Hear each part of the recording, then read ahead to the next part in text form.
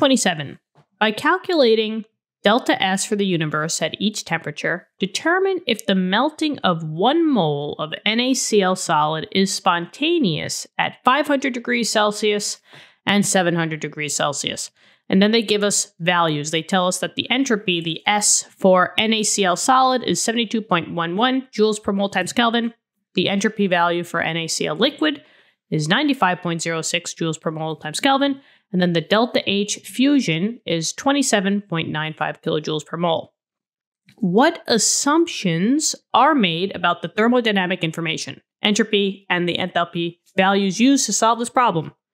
Okay, so before we talk about any assumptions, let's just quickly, or not quickly, but let's just run through how we would find the delta S for the universe, right? UNIV is the universe. Now, there's a couple of uh, formulas for delta S universe, but it looks like for here, they gave us S values and they gave us a heat value, right? Delta H is an enthalpy value. And enthalpy is heat. I remember that by knowing that the there's an H in the word enthalpy and H in heat, so they go together. Um, entropy is the S, so the wordings is a little bit similar, but there's entropy and enthalpy. Enthalpy is your delta H, so it's H's all around. For heat and entropy is always talking about randomness of the molecules or disorder or chaos. And in this case, we want to know the universe. Now, since we're dealing with heat values and delta S for the universe, we're going to use this formula right here. Delta S for the whole entire universe will equal, or in, you know, this problem, will equal the, the delta S for the system plus Q divided by T. Okay, so let's see. Let's first work with this Q divided by T. We want to basically find out the delta S for the universe, which means that we should know these three components. Now, maybe what I'll do is I will split this up because they said that we want to find out whether it's spontaneous at 500 degrees Celsius and 700 degrees Celsius. So we're going to do one for 500. So this, the left side will be 500 degrees Celsius, and then the right side will be 700 degrees Celsius. Okay. Now, in order to find out if something is spontaneous or non spontaneous, we're always looking for the delta S universe. So just know that your system, your delta S for your system, which is what, you know, what reaction is going on, is not going to tell you whether you're spontaneous or not. Your surroundings is not going to tell you if you're spontaneous or not. It's the two of them combined, the universe, system plus the surroundings. Now, in this case, you have two different outcomes. You have positive and negative, right? If your delta S for, for the universe is positive, that's a good thing. That's your spontaneous one. So we're looking for a value to come out to being positive. But if it comes out to being a negative, that's non spontaneous. And the universe is going towards uh, less randomness, less disorder, and that's the unfavorable one. Okay.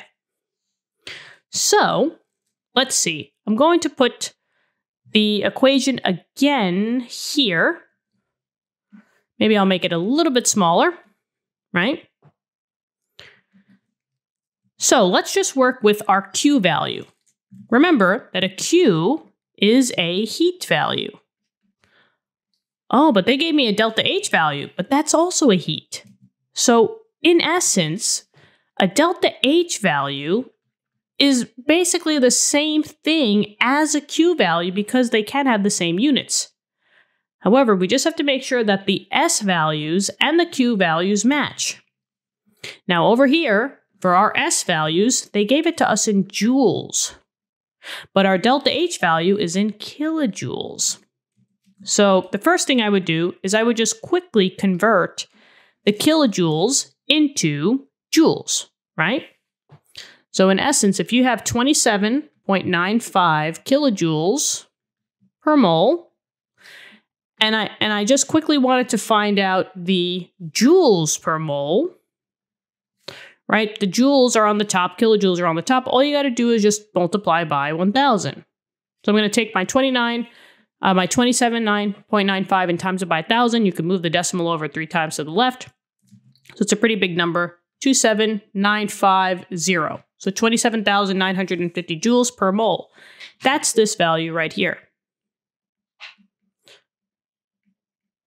Okay, now temperature, for this to work, the units have to be the same, but if we notice the S values are in Kelvin, so this also has to be in Kelvin. But they gave it to us in Celsius, but that's okay because I could just do 500 plus 273, right? 500 plus 273, that's how I go from Celsius to Kelvin. Kelvin, so 567, this would be 773 Kelvin. Okay, so we got this figured out. Now, how are we going to get a delta S for the system? Well, that comes from a balanced equation. Now, keep in mind they said that we are melting. And if we're melting a substance, that means that we have to start with the solid and go to a liquid. So I'm starting with NaCl solid. And I'm going to NaCl liquid. Okay. I'm just going to write the corresponding values down. The solid entropy value was 72.11, and the products is 95.06. Now, how are we going to find the delta S for the system? Well, remember that the delta S, the change in the entropy for the whole entire system, is your products minus your reactants. So it's the sum of your S values for your product. And you're just going to subtract from the sum of your S values for your reactants. Now this one is pretty easy because you only have one mole of each, right? One mole of NaCl, one mole of NaCl on the product side, and they asked for one mole, so we're good with that. So I don't have to multiply these values or anything because they're the same value. So let's just find out what that system is. Delta S for the whole entire system would be your product, 95.06. And I'm just going to subtract the 72.11. So let's see. We get a delta S for the whole entire system is 95.06 minus 72.11. Whoop, hold on a minute. Forgot that last one there. So I get 22.95. 22.95 joule per mole times Kelvin. That's this value. So I'm just going to plug that in. So this would be 22.95. Now, what I'm going to do is I'm just going to shift things over here because we're going to use the same information as, you know, for the 700. So I'm just pulling that over there. We'll, we'll take care of this when we get to the 700. But for right now, we have everything that we need. Delta S for the whole entire universe, in this example, is equal to 22.95 plus we have those two values. So let's see, we got 27,950 divided by 773. Now, before we go further, I just want to point something out that this Q value, this is for your surroundings. Now, when they were talking about the delta H for the fusion, fusion is talking about when you have a solid going to a liquid. And in this case, it's going to be your NaCl with your NaCl, right? Your solid to your liquid. So this fusion value is talking about your system. However, when we use this formula, the Q value has to be in terms of surroundings. And the the parameters for system and surroundings is that if you have a positive system, you have a negative surroundings. So since they told us that this was a positive 27.95, and I want to find out the surroundings, this heat value would be a negative.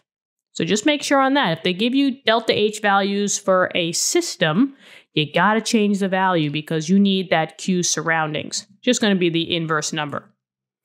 Now, since we have everything, I'm just going to plug this into the calculator in one shot and just see what that delta S value is. So let's see. I get negative 27950 divided by 773. And then I'm going to plus 22.95. Okay, so I get, uh, how many sig figs?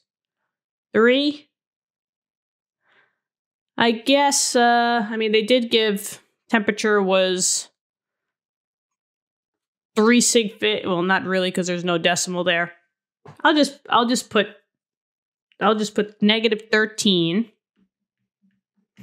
negative 13.2, and we'll, we'll call it that. And this is now joules per mole times Kelvin.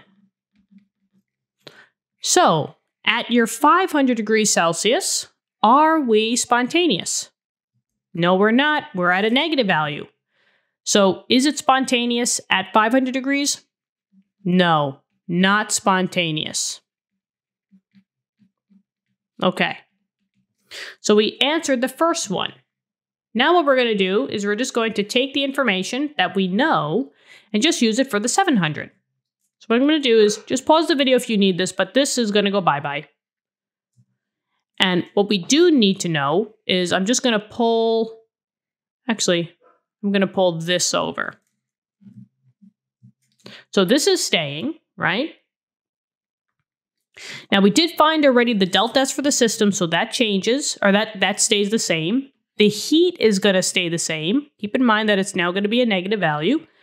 So the only thing that's changing is your temperature value. Instead of 773, we are upping it to 700 degrees. So this temperature should be 700 plus 273.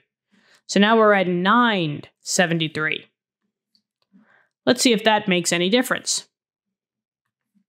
Delta S universe equals, let's see, negative 27950 divided by 973 plus 22.95. Mm, I still get a negative value, 5 point, uh, we'll say 5.7, 5.7, I guess, yeah, 5 point, 5.7, I guess 5.8. And this is now joules per mole times Kelvin. Is this spontaneous? Still a negative value. So that is no. Not spontaneous.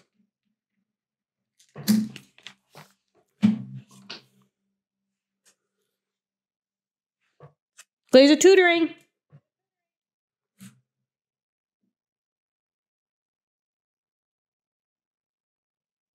Hello?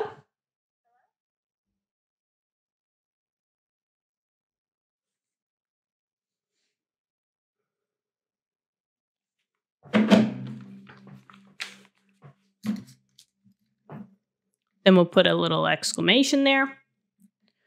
Okay, so that answers the first two questions. Is it spontaneous at these temperatures? No, not at 500 and not at 700. Now comes the assumptions. What assumptions are made about the thermodynamic information, entropy, and the enthalpy values used to solve this problem? So, basically, for these, we have two conflicting temperature values. When we were talking about the S values, these are standard because their temperatures are already, you know, included in the S value. So for your entropy, which was your, your S values, th these were at standard temp. And the standard temp, if we use the back of the textbook, was 298.15 Kelvin. But as far as your entropy, uh, your enthalpy values, and maybe I'll just bring this over here. As far as your enthalpy values, we were at different temperatures 500 degrees Celsius and 700. So we were at 773 Kelvin and 973 Kelvin. So the assumptions that we can make is that since we're at two different Kelvin values, or technically three different, is that the delta S is not going to change much whether you're at 298 or 773 and 973. So that's basically the assumption. Also, another assumption is that the S values probably don't change greatly from these three temperatures. That's why they gave it to us from the standard values. So there you go. I really hope this one helped. Let me know in the comments. Subscribe to the channel, and I hope to be talking to you. Um, you know, when I talk to you in the next le lesson. Talk to you soon. Bye bye.